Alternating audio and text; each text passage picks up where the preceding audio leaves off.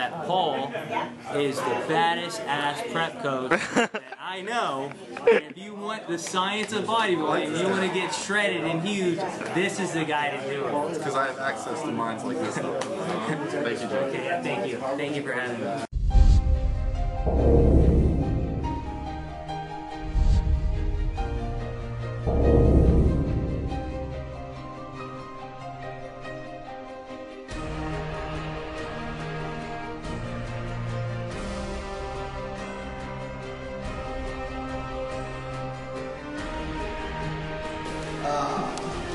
Talk about body goals for optimal cannibalism. That would be uh, Dr. Wilson came up with that title. I'm not that creative. And then all this stuff right here, just to kind of I'm a geek who likes to lift heavy weights. Uh, um, so basically, we know that uh, eating is anabolic, right? I mean, maybe unless you ask some people who are big on fasting, but I don't know, Lindsay worked out too well for Gandhi. Um, uh, no, no flat burgers. The influence muscle protein synthesis is what I'm interested in. You know, what, what components of the meal actually make it anabolic, and how can we optimize that? I love that word optimal. Love that. I hear a lot of people talk about need. How much do I need? I don't care how much you need. I care about what's the best. All right.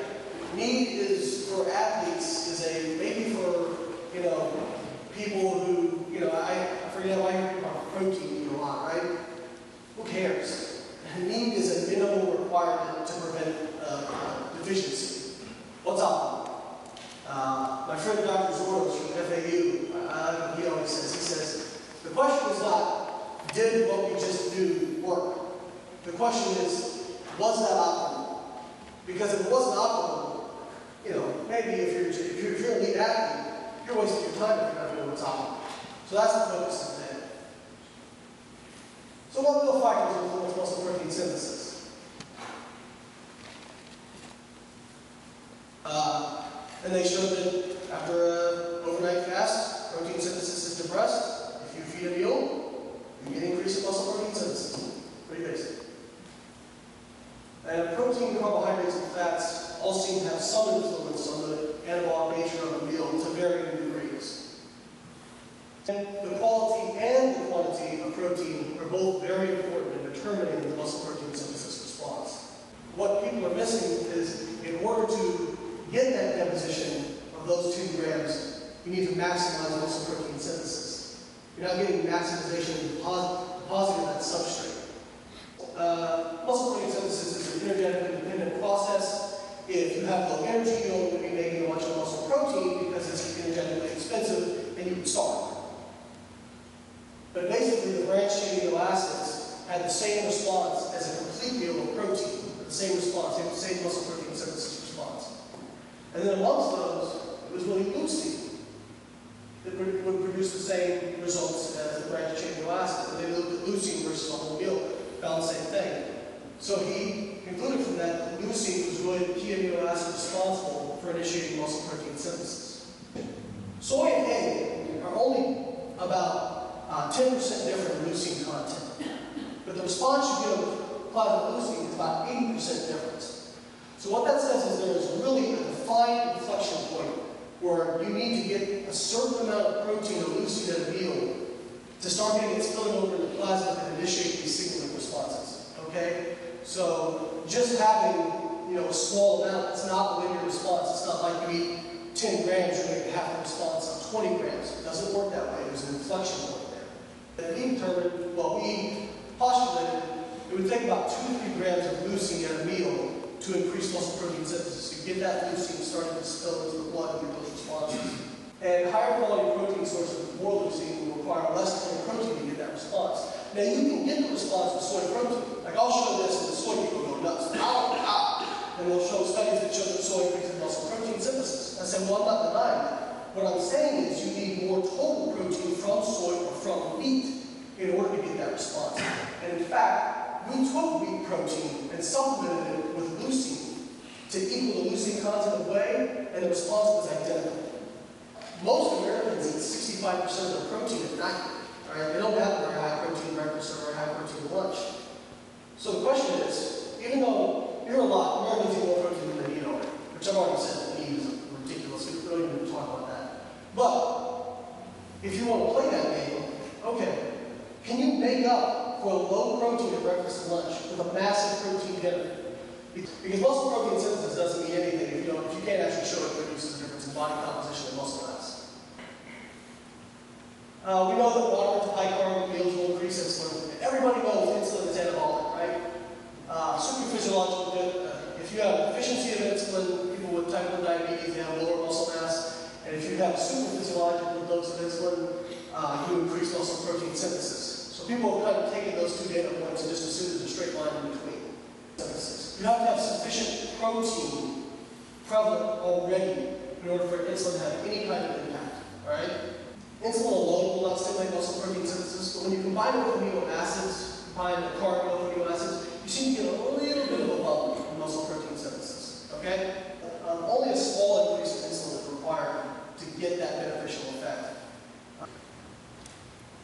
I say, me personally, my, my personal opinion, this hasn't been looked at yet, but I think four to five meals per day, four to five good doses of high quality protein are going to maximize your response. I think eating too downfall for body composition, although that may be in opposition to what we heard earlier today, but in my opinion, you, can, you can't eat too frequently, and uh, it can impair the anabolic response if you eat too frequently by producing that refractory response I talked about. Consume between meals, with or without carbohydrate, depending on your total calorie goals for the day. A lot of people will say, well, just eat more ATP lunch, just eat another meal. I think that the branched chains have kind of a unique effect because of their effect of ATP replenishment just in muscle. And again, talking about the caloric bang, your anabolic bang for your caloric body. As we age, we get less responsive to amino acids. Um, you need more and more in order to stimulate. They, they've shown that elderly people need more protein in order to get this response than young people. Um, my personal opinion, I don't think a slow digesting protein source is more beneficial than whey. Um, I think whey is better personally. Um, caseins have been shown to have a lower muscle protein synthesis anabolic response. As you get lower in calories, you're probably going to need a little bit more protein. I'm kind of speculating here, but um, you're calorically restricted, again, we talked about how energy plays into muscle protein synthesis. If you're calorically restrict- restricted, you may need more protein. Obviously, if you train hard enough, long enough, you get branched chain amino acid metabolism, you get metabolism of protein. I wouldn't say it increases the requirement a whole heck of a lot, but maybe 5, 10, 15 grams here or there could make a difference. I tell people when I give speeches, if you're expecting me to tell you what the optimal diet is for you, uh, meal one, meal two, meal three, you're going to be very disappointed uh, because everybody, the individual variances are so much. But I'm hoping to give you guys concepts that can help you with your stuff and with your athletes and your students. Saying this, there is a threshold, a minimum to increase, initiate muscle protein synthesis. But that's not, it's not just all or nothing. Um, there is kind of a linear response within a certain amount. Um, and then you get to a maximum where you don't get really much anymore after that. One at a time. This obviously led in doing this updates up, so it was unexpected when we asked, and uh, such a huge honor, but obviously no chance of you passing that. This is just a big honor to go in and do your own classes. So thank you all for being here. I know it's been a long day. I'm not going to keep it too long. I'll try to keep it exciting. I'm going to give you some insights into what I do, uh, some of the research that the doc, uh, Doc Will, I say the doc, and Dr. Wilson, Dr. Doc in the ground. Um, so he's been doing the lab, uh, some of the things that he's taught me on how to optimize my performance. So what you're looking at here is me on stage in 2011, uh, February Flex Pro, and beside that, you're looking at my skeletal system and my DEXA scan. Probably pretty recent. Um, so for those of you who don't know what a DEXA scan is, it's simply the most accurate method of body fat analysis. Uh, so just to kind of give you an idea of what you know, those two things correlate to look like. So there's the next one. There's the other option. I mean, in my eyes, it's relatively easy. Maybe some of you may not agree, but if you put the amount of commitment into it, that, you know, a fair amount of commitment, you'd be good. Most people just kind of hold themselves back to the paradigm. And again, we definitely won't look at that. It,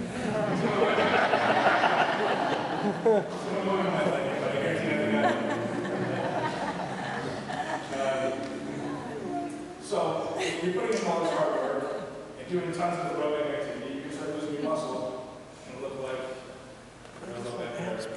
Pretty dude. Uh, so here's a great study done by Dr. Wilson. Layne, introduce your friend. This is Dr. Abbie Smith Ryan, professor at UNC, right? Chapel Hill? Yeah. So, Abbie did a speech on supplements today. supplements. Yeah. What'd you think? That was good. I mean, it's basically stuff I use too. You know, there's not, you know, there's not a whole lot of secrets amongst you know, people moving here you know, in terms of what's efficacious, and, you know, what we recommend. I mean, the basic stuff is whey protein, creatine, alanine, branched chains, and all that kind of stuff. You know, I mean, there's exciting stuff coming out like the HMB but we need more data before, and it's not available yet, so we need more data before it comes out. But um, you know, typically it's you know it's before, from the time there's that inception of an idea to when it's actually like available to the public, it's two or three years without even. Tomorrow Sunday.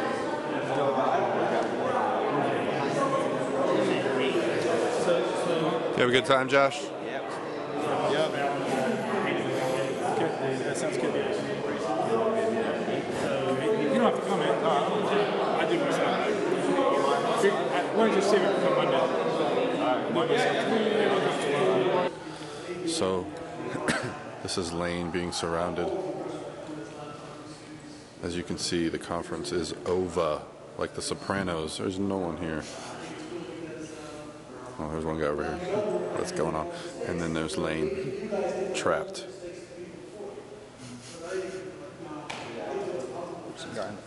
Layne, Layne likes to talk.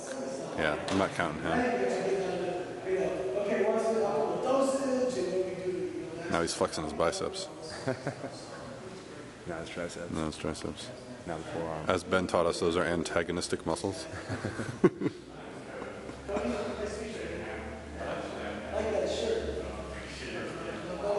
All right, so we're at University of Tampa.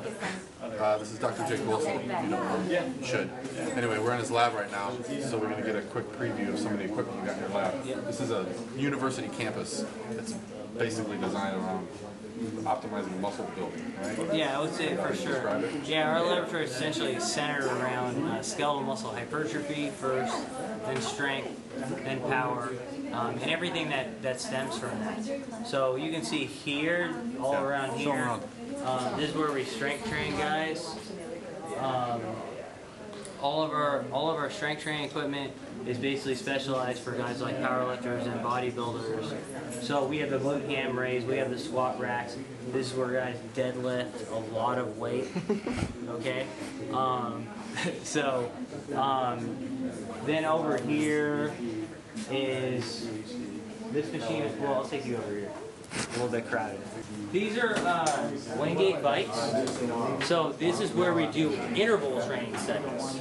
So you know, a lot of bodybuilders will do traditional cardio where they do 60 minutes, sometimes two hours a day to prep. What we've shown in our lab is that when you do high intensity sprints, um, you can burn or use more fat in 30 seconds than you can in like an hour. Okay, and you get more shredded, you don't muscle. So how it works is the athlete will pedal all the way out. Um, when they hit 175 revolutions, weight drops, and it's like you got punched in the stomach. So, um, and, and essentially, it's the worst pain that you could possibly imagine, and that's how is. You know, one of the one of the difficult things about bodybuilding is you have to be able to target different muscles, right? Um, it's not just lifting weight; it's about being symmetrical. It's about bringing out certain body parts. So for that, um, we can use what's called electromyography. So essentially, what happens is uh, when your brain tells your muscle to contract, it sends a signal to the muscle, and you can measure that as an electrical impulse. And we can put that on the muscle and measure that. So we can see, oh, you're activating your biceps more. Maybe you're creating more of a mind muscle connection. Or maybe changing the angle on pull ups is activating your upper lats more, or your center or your rhomboids. So if you want to create back thickness. So we're looking at best ways to do that in the lab. Like five minutes, right? Now, bottom line for a bodybuilder is what? It's hypertrophy. So this is how we measure hypertrophy over here. You can use that machine. That's looking at the quadriceps, and we use that machine to look at the actual hypertrophy of the quadriceps. Um, but you can look at biceps or any muscle in general, right? Um, that's our metabolic part. We can measure guy's metabolism. So if you're dieting um, long periods of time, we can see, well, maybe we can maintain metabolism. Right? Uh, you can also use it for VO2 max, but I don't really do that in this lab. um, and this is a dual X-ray absorptiometry, or DEXA, and it will scan your whole body and tell you your uh, your muscle mass and your fat mass and where that actually is. Um, so that's a brief tour of the Human Performance Lab, and I just want to make a, a real good observation that Paul is the baddest ass prep coach that I know. And if you want the science of bodybuilding, if you want to get shredded and huge, this is the guy to do it. Because I have access to minds like this. Thank you, Jake. Okay, yeah, thank you. Thank you for having